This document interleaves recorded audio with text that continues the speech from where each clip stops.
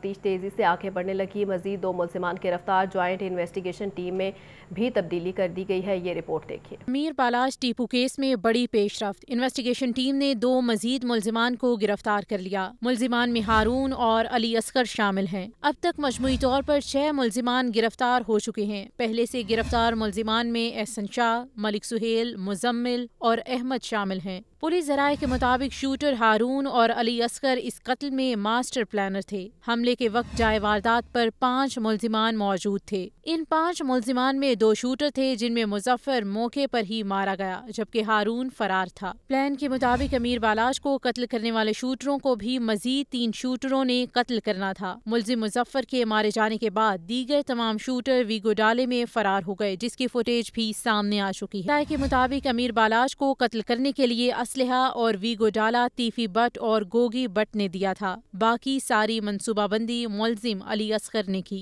दूसरी जानब अमीर बालाज कत्ल केस में ज्वाइंट इन्वेस्टिगेशन टीम भी तब्दील। एस पी इन्वेस्टिगेशन सदर मुस्तनसर अता बाजवा की जगह S P investigation Model Town Shahzad Rafiq को ज्वाइंट इन्वेस्टिगेशन टीम में शामिल कर लिया गया। D S P Mohammad Ali Butt की जगह D S P Moazzam joint investigation team का हिस्सा बन गए। ज्वाइंट इन्वेस्टिगेशन टीम के चार अफसरान अब इस केस की तफ्तीश करेंगे।